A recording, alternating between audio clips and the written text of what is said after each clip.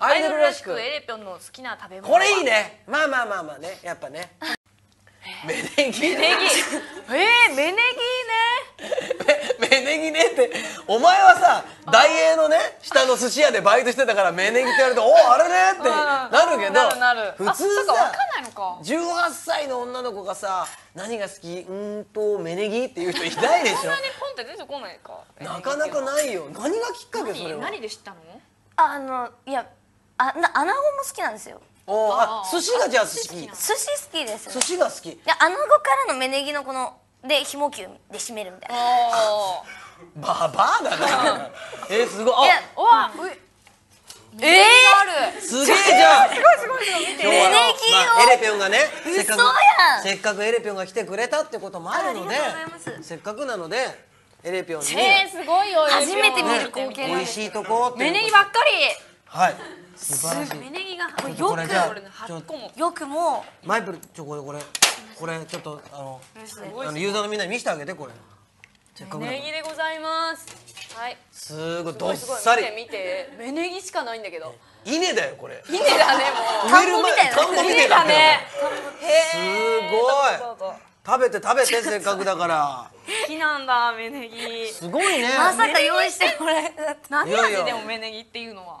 え？あんま食べたことない。かメネギ嘘。っていうのなんか挟まない？なんかこう赤赤身とか白身とかいってなんかちょこもうお腹はそこそこ入ってきてるんだけど、もうちょっと食べたい。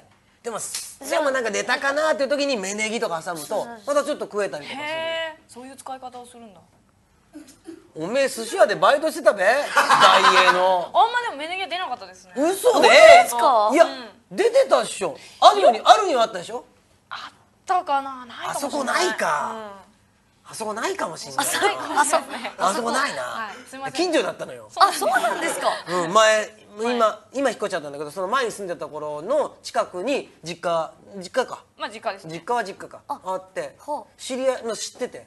だから俺だから言われた時に「ああそこで?」っつってな。そうなんですよ。そうそう。結構じゃあ初期の頃からだからファーストでもできてと突然できたのその生鮮食料品売りのもそのお惣菜コーナーにちょこっとできたの。あいきなり。そなこであのオープニングスタッフとして雇われてたんですけど。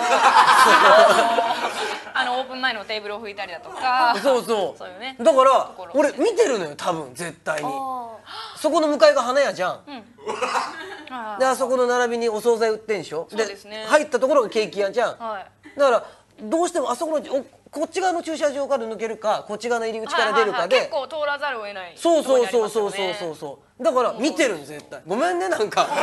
盛り上がっちゃって。ごめんね。昔ですせっかく食べて食べて、はい。食べて食べて、ええちょっとなんか一緒に。あ食べよう食べよう。いいよ食べよう。いいの。俺、はい。俺好きよ芽ネギ。あほんありがとうございます。俺芽ネギ好きありがとうね、はい。へ大丈夫です。いやいいですね。いいよありがとう。芽ネギ。好きよ芽俺ネギいやせっかくなんで芽ネギでか芽ネギ芽ネギでセカンド乾杯しようぜ。はい。じゃあみんなも芽ネギ持って。芽ネギみんなもうちにある芽ネギ持って。いい？はい。いい？はい行くよみんなの。みんなの芽ネギ寄せるよ。はい。じゃあはい、はい。乾杯！かわいい。サルーテ。うん。うん。うまい。うまい。うん。なるほどね。みんなもね大体持ってるからね芽ネギ。初めて食べた本当に。嘘！うん美味しいですね。うまいよ。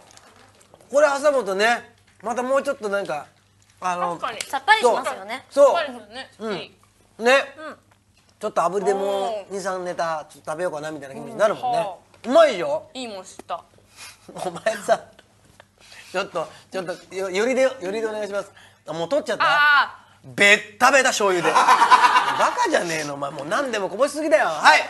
じゃあ芽ネギか、すごいな。他はなんかないの？でも今聞いたら結構なんか女の子っぽくない、なんか意外となんか乾き物とか好きだったりとか、ああ好きです。あやっぱり。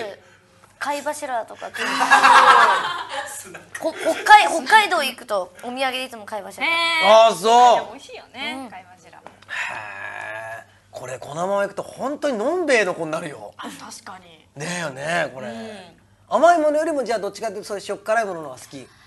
そうですね。あのあれ刺身こんにゃくとか超好きです。あー。渋い。とごま豆腐とかそういう。ごま豆腐ね。確実にあれだスナックエレビョンできるね。将来が楽しみですね。そうだね。いつでもはい。はい